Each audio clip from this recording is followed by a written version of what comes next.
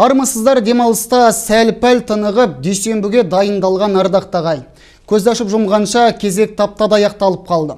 Ал біз жексенбіде маңызды оқиғаларды жіпке тізіп өткелі тұрған жұманы қорытындылаймыз. Арна эфирінде әдеттегідей апталық шолу бағдарламасы ал студияда байболат бектемірұлы. Алдымен кезекті аңдатпаға берейік. Банктердің кепіл саясатын жетілдіру және бағалау қызметін реттеу қажет.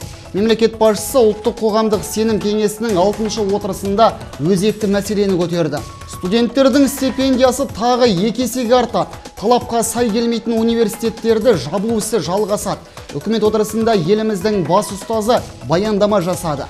Шалғай жатқан ауылдарда өрт сөндіру бекеттерін құру қажет. Әзірге өңір бойынша мұндай қосындардың саны саусақпен санарлық.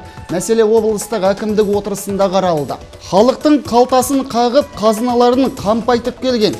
Өңірімізде жұмыртқа құнын негізсіз арттырған құс фабрикаларына қатысты тергеу басталды. Ел үмітін ер ақтар. Ұлттық ұлан әскери институтының курсанты қоян қолтық ұрыстан өткен әлем кубогында чемпион атанды.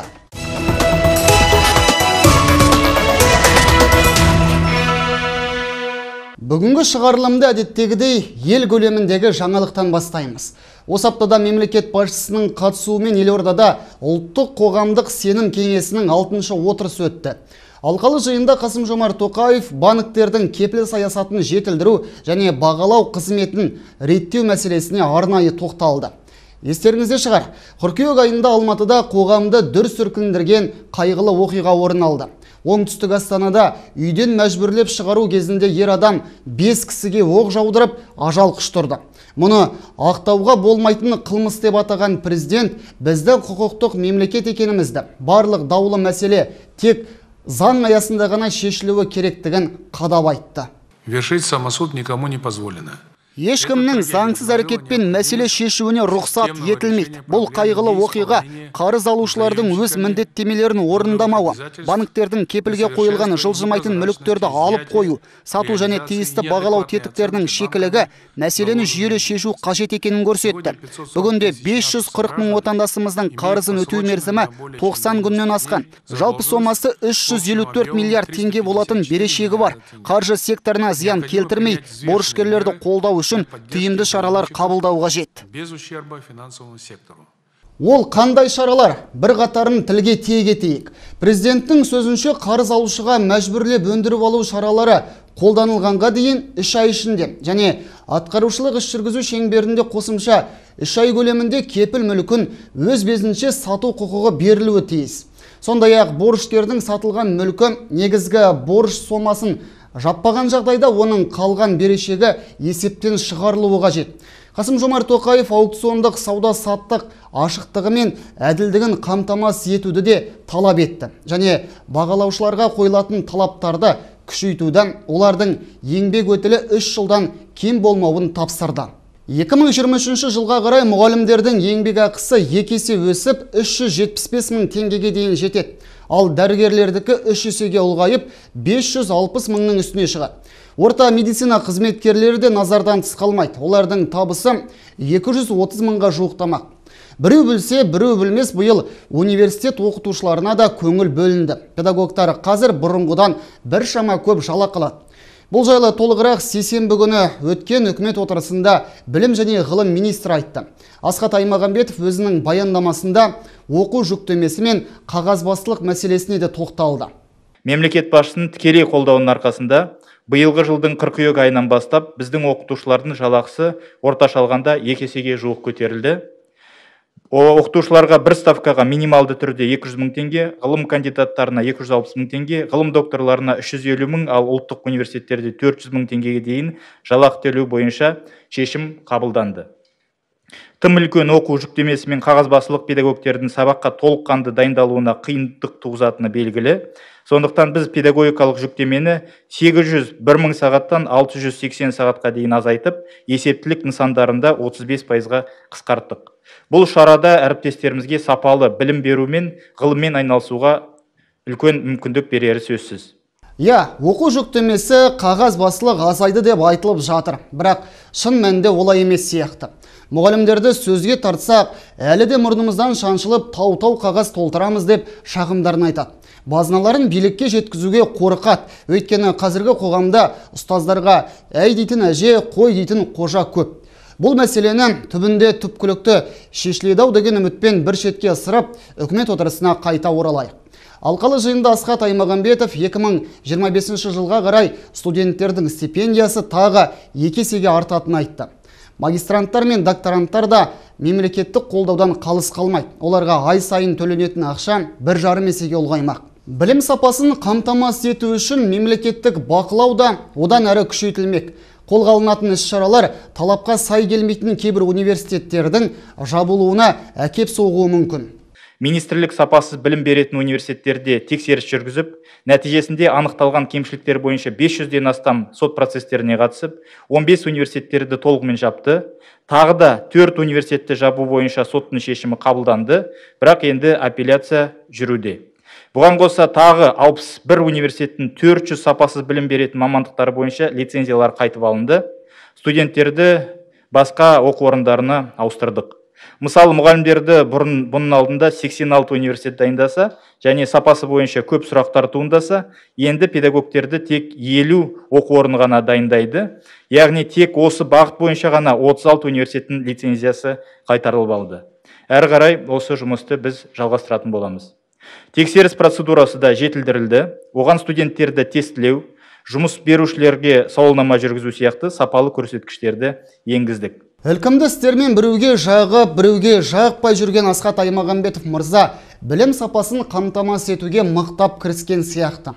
Бұл өте орынды бастама деп білеміз. Өйткені елімізде талапқа сай келмейтін сөйте тұра табыс табуды көздейтін оқу орындары көп болса біліксіз қоғамға пайдасы шамалы мамандардың да саны шаш етектен болары айдан анық. Сондықтан министрліктің сарабдал саясатын бір ауыздан қолдау қажет деген ой түйеміз.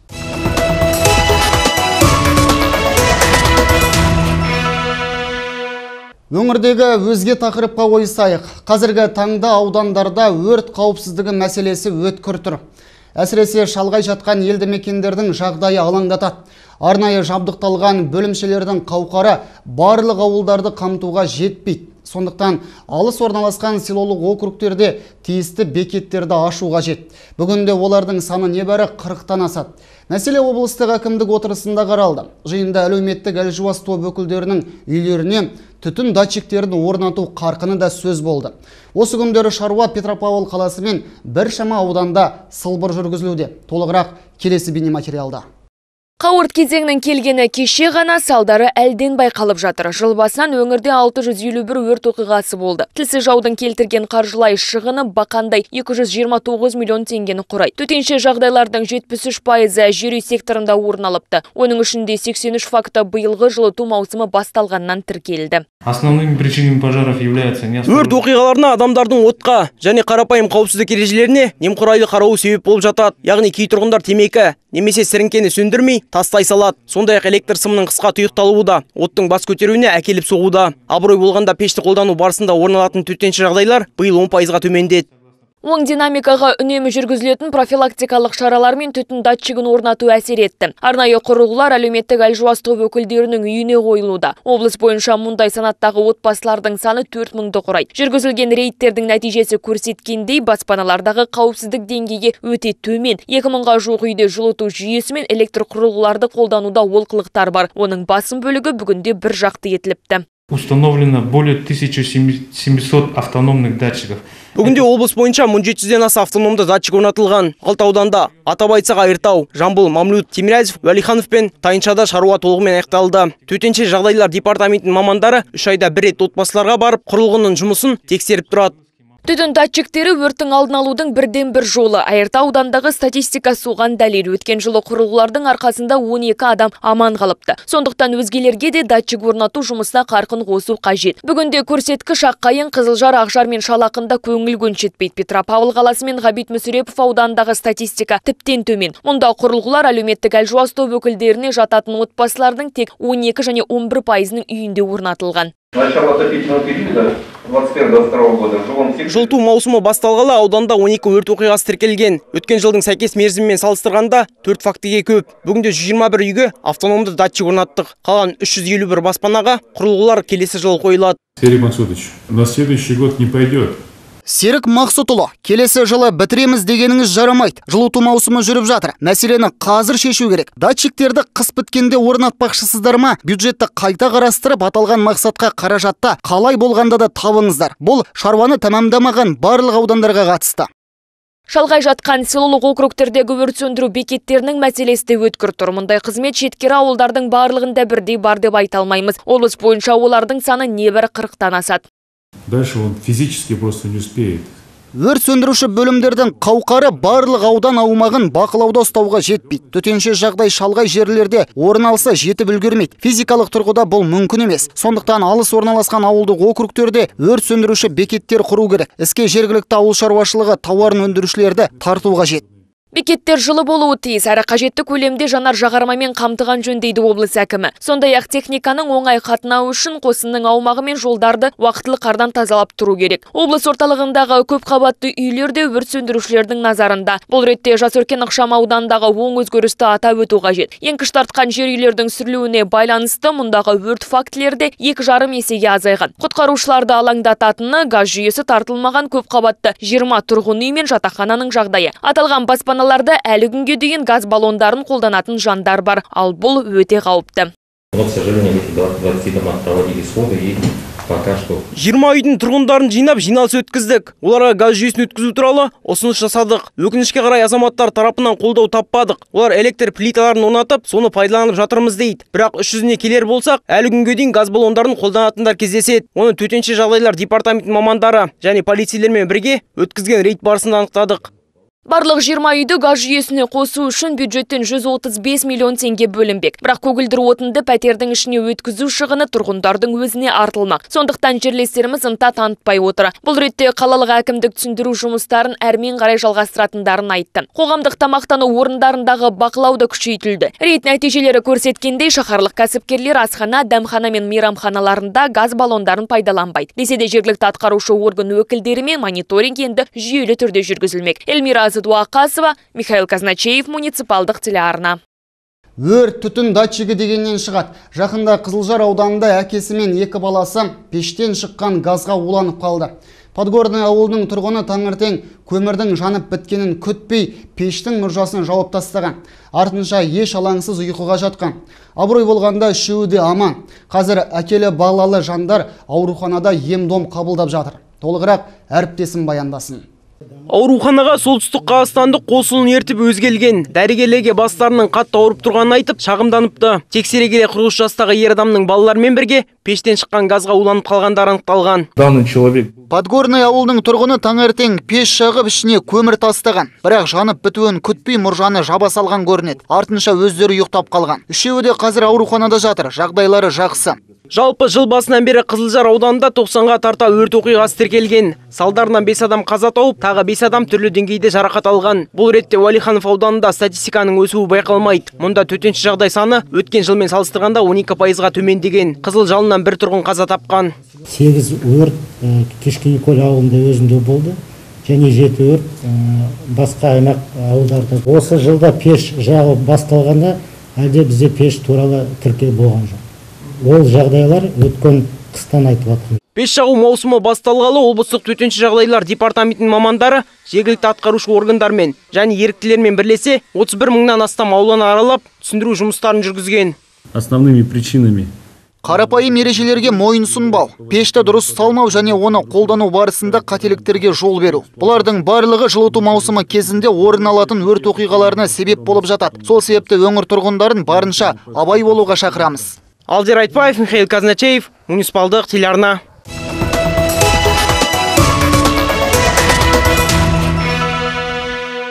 Хабарымызды әрмен қарай жалғастырамыз. Ақша салсаң еселеп қайтарасың.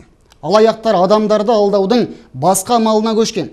Өкінішке қарай қазіргі таңда кейбір жандар әлеуметтік желіде жиі кездесетін жалған хабарламаларға сеніп сан соғып қалып жатыр. одан қалды бүгінгі қоғамда жылы жылы сөйлеп жыланды іннен шығаратындар көп олар адамның әсіресе оң солын танымаған жастардың сеніміне кіру арқылы жеке деректеріне қол жеткізіп онлайн отырып несие рәсімдей салады. Бұл ретте аз кем статистикаға тоқталайық.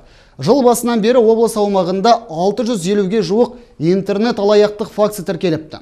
Осы күнге дейін соның тек 20 пайызының ғана беті ашылған екен.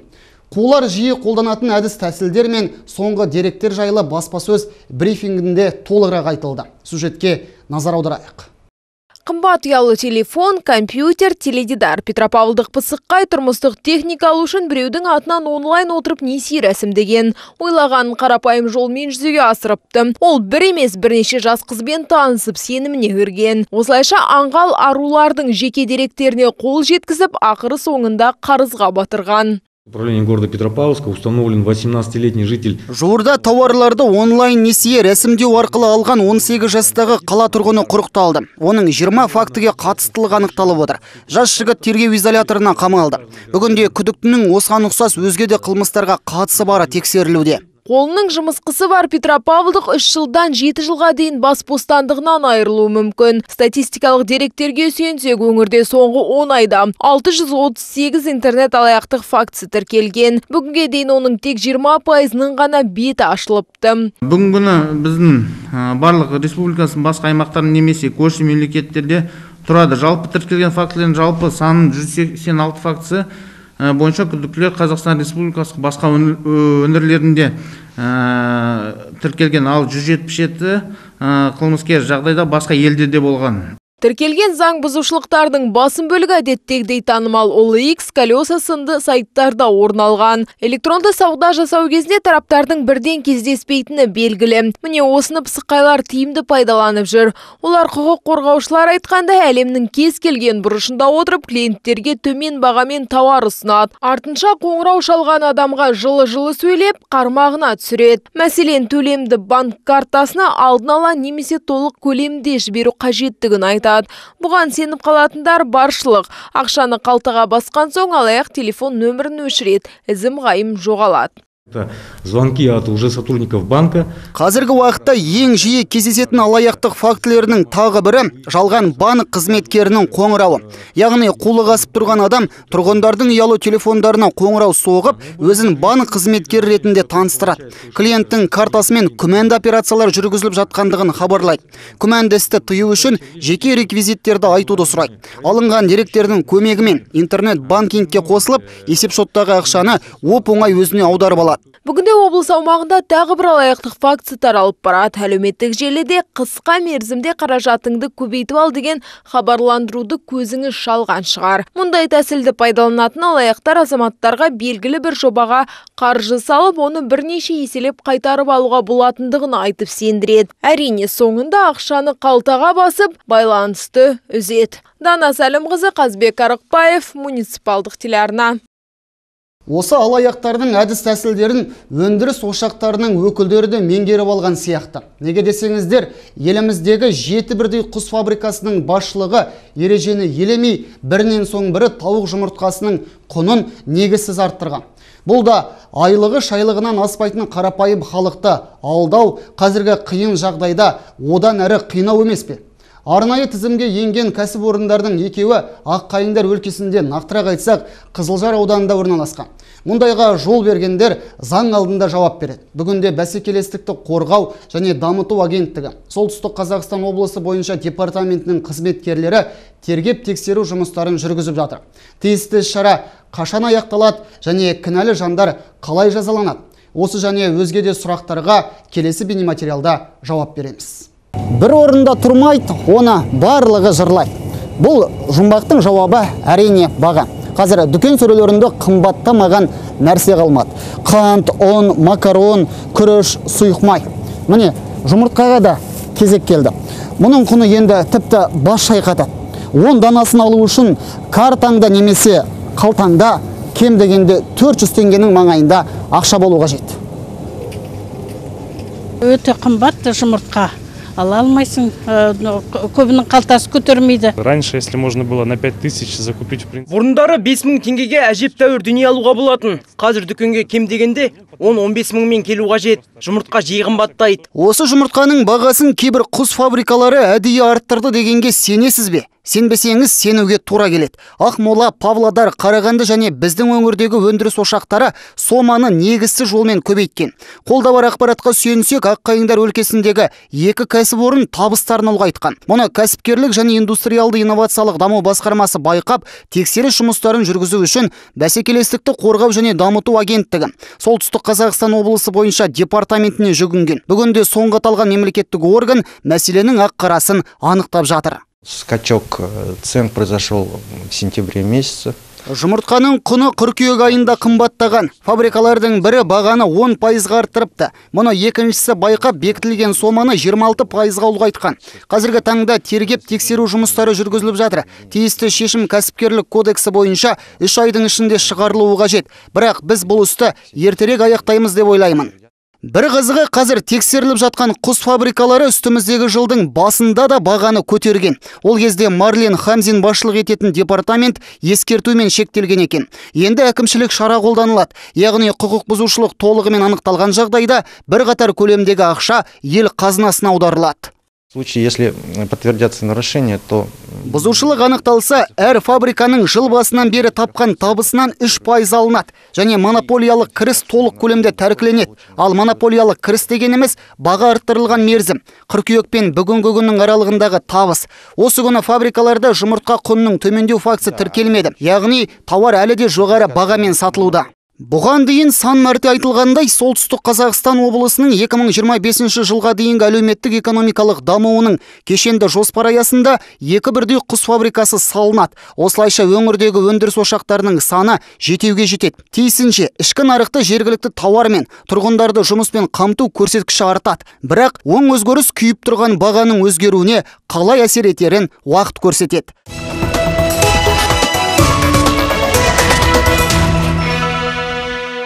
Енді халық арасында қызу қаузалып жатқан мәселеге көшейік.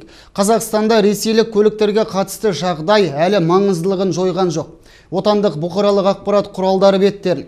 Одан қалды әлеуметтік желілерді ақтарсақ, түрлі-түрлі материалға кезігеміз, екі-үшті пікір естейміз. Біреулер талаптың қатаңдатылғанына қуанышты. Ал енді біреулер айыппұл арқалап машинамыздан айырыламыз ба деп дабыл қағуда. Мәселенің мән жайына толығырақ тоқталу үшін сандарды сөйлетейік. Еуразия бірінші арнасы ұсынған дерекке сүйенсек, бүгінгі күні республикамызда 3 миллион 800 мыңнан астам автокөлік бар екен. Темір тұлпарлардың 210 мыңы солтүстіктегі көрші елден кіргізіліпті. Оның 88 мыңы Қазақстанда да, Ресейде де тіркелмеген. Яғни ешбірінің құжаты жоқ, заңсыз қатынап жүр. Мұндай жағдайда автомобиль иелері жауапқа тартылады. Бірақ арнайы шара ұйымдастырылып, машиналар жолдарда немесе үй маңында тоқтатылмайды. Жүргізуші қандай да бір ережені бұзған жағдайда ғана тәртіп сақшылары қосымша хаттама толтырады. Нендей шара қолданылатынын тілшілер қауымына полиция департаментінің өкілі Алтынбек Жамалиев айтып берді. Құлақ түріңіздер. Әкімшілік полиция комитетінің арнайы сұранысы бойынша Ресей Федерациясында құзырлы органдарында тіркелген көлік құралдар жайлы ақпарат алынды. Соның қорытындысы бойынша айтып өткендей 88 мыңнан астам көлік құралдары Ресей Федерациясының құзырлы органдарында тіркелмеген. Айта кететін жайт, кез келген көлік құралы Қазақстан еліндегі жол, жол жүру ережесіне сәйкес мемлекеттік тіркеуде тұру қажет. Егер де мемлекеттік тіркеуге тұрмаған көлік құралдары анықталған жағдайда, ол тек қана Ресей көліктері ғана емес, басқа да көлік құралдарын егер де мемлекеттік есепте тұрмаған жағдайда, олар Қазақстан Республикасының 590 бабына сәйкес екінші тармағына әкімшілік жазаға тартылады. Әкімшілік жаза 10 айлық есептік көрсеткіш көлеміндегі айыппұл. Яғни қалтаңыздағы 30 мың теңгеге жуық ақшадан қағыласыз. Айыппұлдан бөлек темір тұлпар айып тұрағына қойылады. Көлігіңізді Қазақстанның немесе Ресейдің базасына тіркегенше дейін жылжымалы мүлік сол жерде тұрады. Осы орайда айта кетейік, тіркелген машиналарына көрші елдің нөмірін таққан жандар қатынау кезінде өздерімен бірге үнемі бір қатар құжат түрін алып жүрулері тиіс. Егер де Ресей нөмірмен жүретін болса, ондай азаматтар қазақстан еліне ешқандай да бір ә, бөгетсіз жүре алады тек қана аталған көлік құралдары ресей мемлекетінде құзырлы органдарында дейміз тіркеуде тұру қажет егер де аталған көлік құралдары ресей мемлекетінде есепте тұратын болса қазақстан аумағында ә, мемлекеттік ә, қазақстан мемлекетінде сақтандыру полисі жаңағы көлік құралының ә, құжаттарын барлығын түп нұсқасын өзімен алып жүрген жағдайда қазақстан азаматы ол көлік құралын жүргізе алады. Тағы мынаны ескерген абзал. Ресейлік көліктер жылына бір рет қазақстан аумағынан шығарылып тіркелген жерлеріне барулары тиіс. Онда арнайы тексерістен өтеді. Сақтандыру құжаттарын реттейді. Кейін елімізге қайта оралып емін еркін қатынай алады. Жалпы бүгінде өңірімізде 40 мыңнан астам темір тұлпар болса соның 4 мыңы ресейлік нөмірмен жүр екен.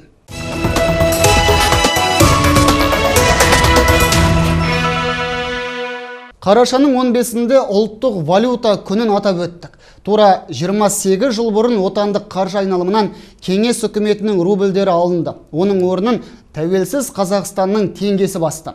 Алғаш шығарылған банкноталарда қазақ халқының тарихы мен мәдениетінде ойып тұрып орын алған тұлғалар бейнеленді.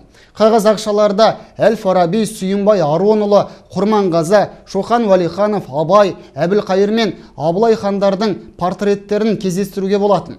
1994 жылы қолданысқа тыйымдар енгізілді. Алайда оның өміршеңдігі ұзаққа созылған жоқ. Елдегі дағдарыс жағдайы мен инфляцияға байланысты банкнот номиналы өсті.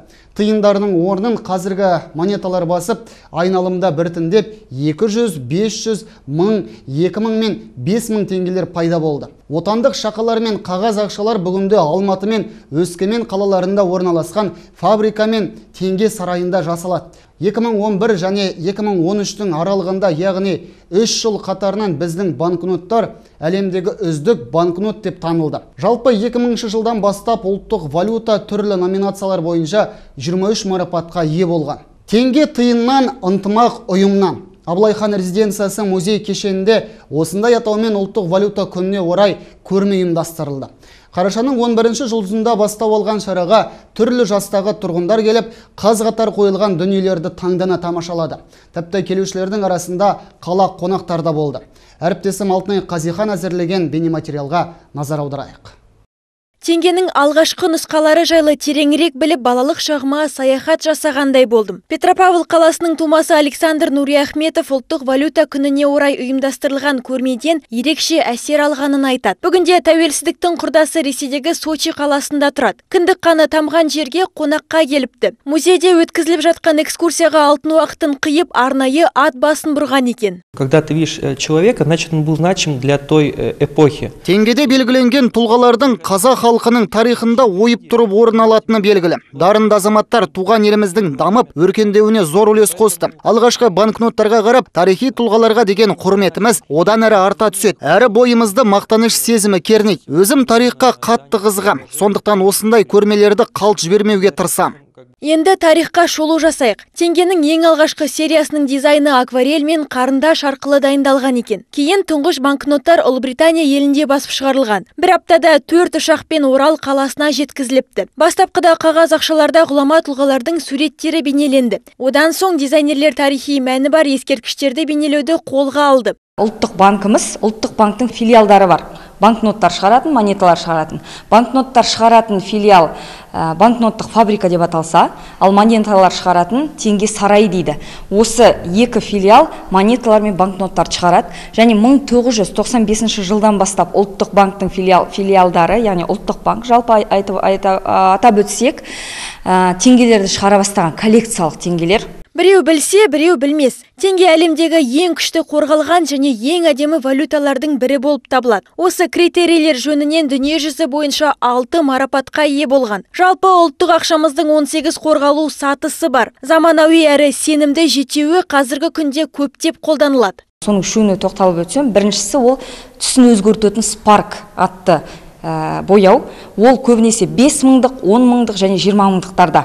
Екіншісі алтын интаглио дейді ол э, яғни э, бояулар өте сондай қалың салынады екен рельеф кәдімгідей пайда болады. Соның арқасында көшіру мүмкін емес ол теңгені. Э, үшіншісі э, қызғылт түсті ерекше талшықтар деп аталады. Оны ондай теңгелер э, ультрафиолеттің ультрафиолетке салғанда сондай теңгелерді түсін өзгертеді екен. Бұл ұлттық валютамыздың көшірмесін жасау мүмкін емес дегенді білдіреді. Қоса кетейік 15 қараша теңге күніне орайластырылған көрмеге коллекциялық монеталар да қойылған. Бір апта ішінде мұнда еңбектеген жастан еңкейген қарияға дейін келіп таңданыстарын білдіріпті. Алтынай Қазиқан, Қазбек Арықбаев, муниципалдық телеарна.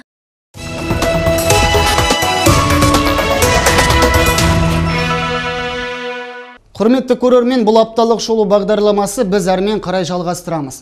Енді әдеттегідей қысқада нұсқа жаңалықтар легіне кезек беріп, өзге де тақырыптарды қамтуда жөн санап отырмыз. Қазақстанда компьютерлік магниттік резонанстық томография арқылы көрсетілетін қызметтердің көлемі 4 есеге артты. Бүгінде ел тұрғындары үшін компьютерлік диагностикадан өту бұрынғыға қарағанда әлде қайда қол жетімді. Өйткені ағымдағы жылы әлеуметтік медициналық сақтандыру қор аясында азаматтарды заманауи медициналық тексерістен өткізуге арналған құрылғыларды жеткізушілер қатары 25 пайызға көбейген. Мәселен, былтыр компьютерлік томография жүргізу бойынша қазақстандықтарға қызмет көрсететін 135 медициналық ұйым болса, биыл бұл тізім 55 орталықпен толығыпты. Ал магниттік резонанстық томография әдісін қолға алған 120-дан астам ұйым жұмыс істеп тұр. Бұндай мамандандырылған нысандардың көбеюі әсіресе Атырау, Түркістан, Павлодар облыстары мен Шымкент қаласында байқалады. Бұған дейін талай мәрте айтылғандай жыл соңына дейін пәтер иелері кооперативі жұмысын тоқтатады. Оның орнына мүлік иелері бірлестігі немесе қарапайым серіктестіктер құрылады. Жаңашылдыққа сәйкес төрағалар мен төрайымдар тек бір жылға ғана сайланады. Сондай ақ олар көп қабатты баспананы жөндету үшін әр есікті қағып ақша жинамайды. Шаруаны тұрғындардың өздері атқаратын болады. Ол үшін ең алдымен пәтер иелері ортақ есепшот ашулары тиіс. Істің әділ атқарылуын заңгерлер мен әділет департаментінің мамандары бақылайды. Айта кеткен жөн, тұрғын үйді басқарудың жаңа формалары келесі жылдың бірінші шілдесінен жұмысын бастайды.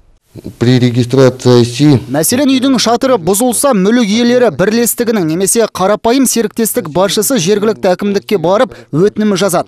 Ондағы мамандар олқылықты түзейтін мердігерді тауып берулері тиіс. Әрі онымен келісім шартқа отырады. Кейін атқарылатын жұмыстың құны белгіленіп, тұрғындарға түбіртегі жіберіледі. Солтүстік Қазақстан облысы Еуразиялық экономикалық одақ елдеріне 56 миллион ақш долларының тауарын саудалаған.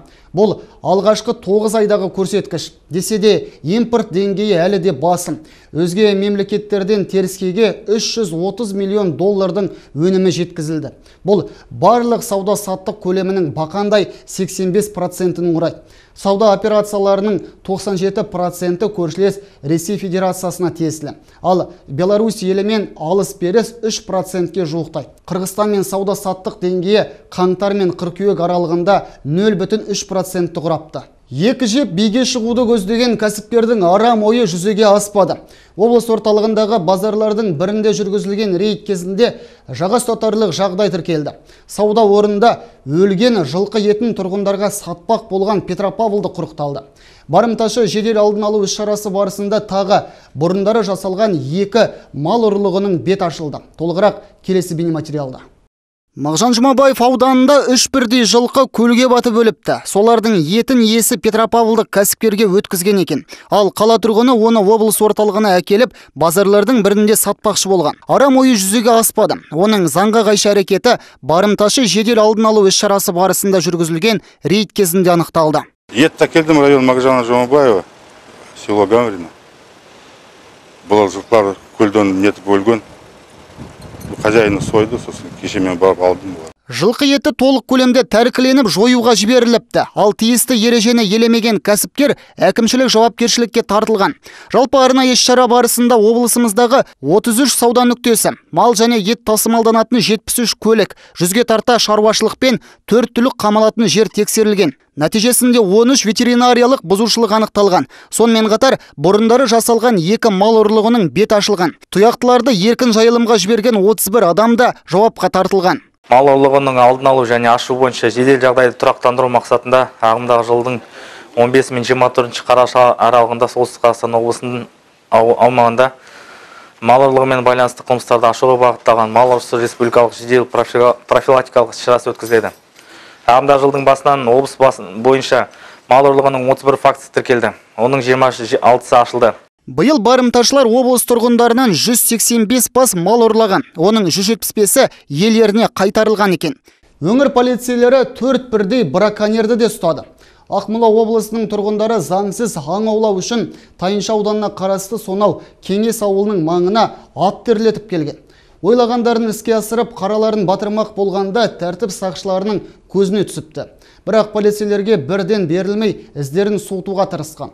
Мамандар заң бұзушыларды аспанға бірнеше мәрте оқ ату арқылы тоқтатыпты. Полицейлер көліктен тіркелмеген қарумен атылған Сібір елігінің денесін тауып тәркіледі.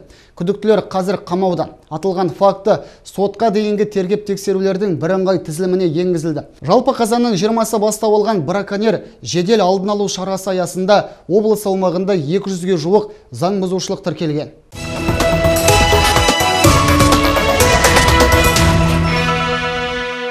Хабарымызда әдеттегідей спорт жаңалығымен аяқтаймыз. Ел қоржынын алтынмен майлады. Ұлттық ұлан әскери институтының курсанты Арапбай Сауран қоян қолтық ұрыстан өткен әлем кубогында чемпион атанды. Ол Мәскеуде жалауын желбіреткен дүбірлі додада төрт елдің өкілін тізе бүктірді. Дүйсенбі күні жеңімпазды облыстық дене шынықтыру және спорт басқармасының басшысы қабылдап, жеңісімен құттықтады. Сюжетке назар аударайық. Уважаемые спортсмены, с возвращением, поздравляю тебя, молодец. Қоян қолтығырыс шебері Сауран Арапбай Мәскеуден Петропавлға кеше ғана оралыпты. Бүгін оны облыстық дене шынықтыру және спорт басқармасының басшысы Сергей Мелехов қабылдап жеңісімен құттықтауда. На сегодняшний день в Северо-Казахстанской области рукопашный бой развивается. Мы стараемся поддерживать данное направление. Әлем кубогында Сауран Арапбай 65 келі салмақ дәрежесінде ел намысын қорғаған. Білекті жігіт дүбірлі додада төрт бірдей жекпе-жек өткізіпті. Яғни Үндістан, Иран, Ресей және Өзбекстан спортшыларымен жұдырықтасқан екен. Финалдық сын өзгелерден қиынға соқты дейді чемпион.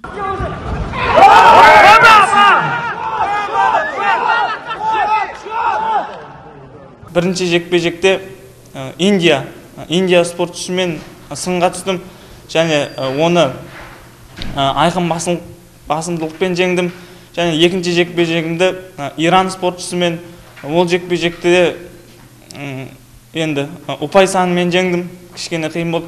Үшінші жекпе жек сол ресей елінің спортшысымен сынға түстім ол жекпе жек қиын болды. Спортшы мықты бірақ сол тренердің дұрыс тактика қойып берген арқасында ол спортшыны айқын басылықпен жеңдім және финалдық кездесуді өзбекстан спортшысымен сарапқа салдық.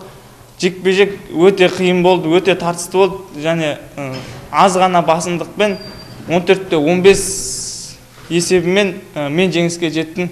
Сөйтіп қарсыластарын қоғадай жапырған Сауран Арапбай әлем кубогының жеңімпазы атанды. Ұлттық ұлан әскери институты төртінші курс курсантының бапкері Мираз Бірімжановтың сөзінше бұның барлығы тыңбай төккен тердің арқасы.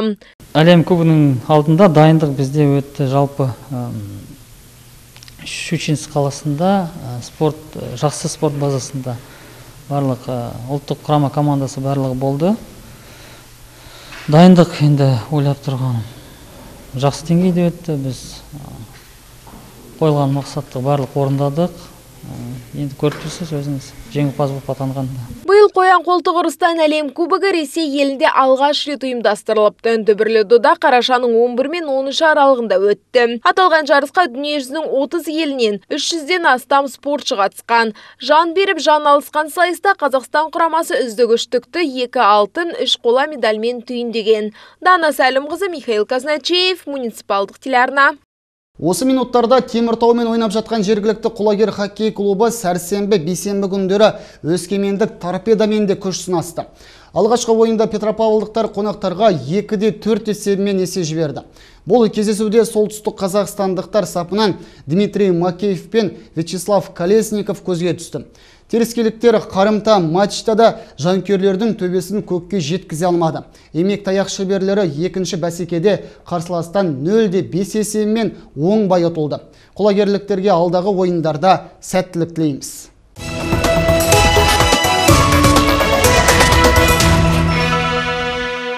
Құрметті көрермен, көзді ашып жұмғанша кезекті шығарылымда аяқталып қалды. Келесі жексенбіде жүздескенше сау саламатта болыңыздар.